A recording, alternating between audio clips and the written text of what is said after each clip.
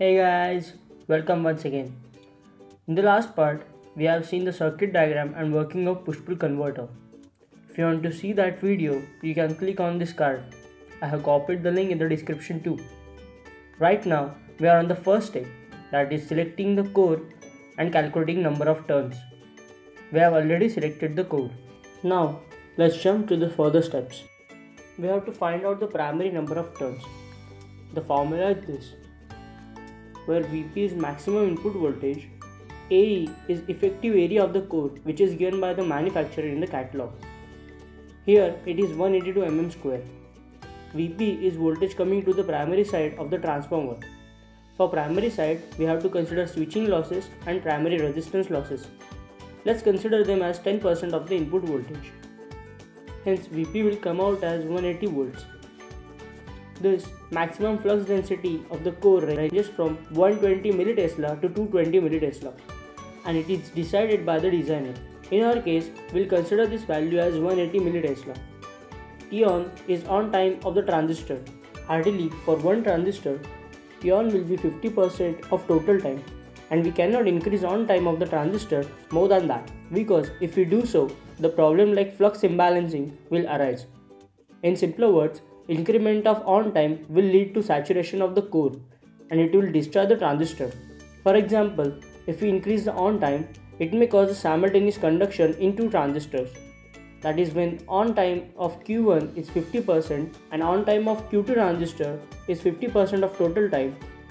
But due to limitation of rise time and fall time of the transistor, a condition will arise where Q2 will on before Q1 turns off fully and this will cause simultaneous conduction of both transistors. And two of primaries will not support this voltage. Hence rate of change of magnetic field that is dV by dt will be zero. And according to Faraday's law voltage across winding will also become zero. Therefore each transistor will take large current at full supply voltage and would destroy immediately.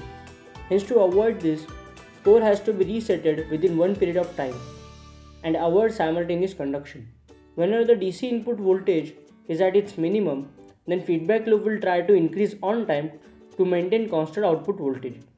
So the on time has to be constrained by some kind of clamp circuitry to never be more than 80% of a half period. Hence T on will be considered as 0.40. By solving this equation, we get the number of primary turns as 44 at one side and same for another side. For the secondary turns, Ns is equal to secondary voltage into T on time upon effective area into delta B. First, we need to calculate the secondary voltage. That will be V out plus V losses. These losses will be of rectifier diodes, choke wiring and transformer resistance. Consider it as 5 volts. Hence, Ns will come out as 26. There will be 4 types of winding on the core. As you can see, 44, 44, and on secondary side 26 26 now we need to select the proper wire size.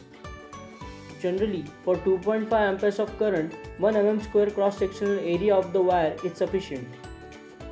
Well this is not the standard assumption but if we increase this current value per mm square then more heat will dissipate and heating losses will increase. According to our design 2 amperes is the load current Hence, the wire having 1 mm cross sectional area will be sufficient for us. For more details, you can see the American wire gauge chart that is AWG chart for reference. This wire will have diameter of 1.12 mm. Hence, on the bobbin of the core will have 140 number of turns. Well, we have calculated the number of turns, but there is one more doubt whether these turns will fit into core or not. To find it, we need to compare the required cross sectional area of the total wire which is number of turns into cross sectional area with effective area of the core minus bobbin margin. Here we'll consider bobbin margin as, as 10% of the effective area of core. If this value is less than this value then we can assume that wire will fit into bobbin. After that we have to find out the length of wire to be needed for winding. It is dependent on the bobbin size for one turn into number of needed turns. After finding all these values, we can wind the wire around the core. Now next step is to find out the value of output inductor and capacitor. For output inductance, the formula is shown where VO is output voltage, F is switching frequency, IDC is the permissible current fluctuation at the output. It should be less or equal to 10% of output current. By solving this equation, we get the inductor value as 500 microhenries. This is the minimum value of inductance we should use.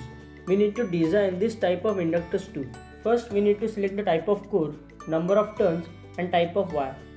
For inductor design, you can refer my previous videos of buck converter or boost converter design. Now we select the output capacitor value such that it will meet the maximum output ripple voltage specification.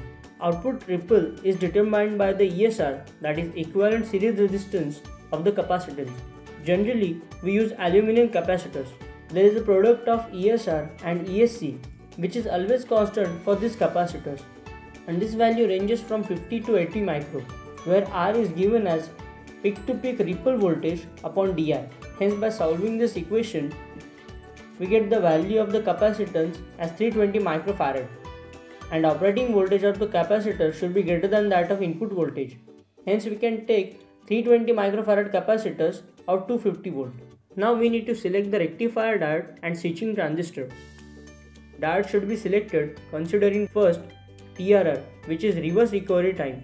When diode jumps from conducting state to blocking state, the diode contains a charge and that charge must be discharged before the diode blocks the reverse current. And time required to complete that process is TRR and this should be as minimum as possible. Second, forward voltage drop across the diode. It should also be minimum. Third is average diode current. It should be twice of maximum load current. For transistor selection, let's see the topology. When one transistor is on, the other one is off. And at that same time, more than twice of input voltage will dissipate across it due to some leakage inductance present in the circuit. Hence the transistor must be chosen such that it will withstand 1.3 into 2 into DC input voltage. 1.3 is the safety factor we are considering over here. For the current requirements, we should consider primary peak current which can be calculated from this equation where PO is output power, VDC is input voltage and operating frequency should be 50 kHz. That means rise time and fall time of the transistor should be as minimum as possible. Well, these are all the necessary calculations for designing a push-pull converter. Let's see the simulation of the circuit. Here, input is 200 volts according to the statement. All components are connected according to topology. This is feedback loop with PI control for regulation of output. Now let's see the output of this.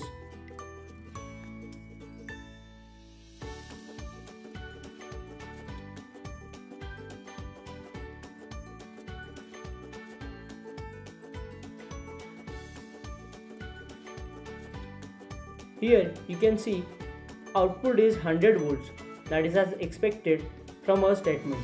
So this is all about the design of push-pull converter. And if you have any questions, you may ask in comment sections. And hit the like button if you like this video and subscribe to my channel so that you'll get the updates about my new videos. Watch my previous videos if you have any interest in technology and I'm sure you'll definitely find some interesting information. And finally, thanks for watching.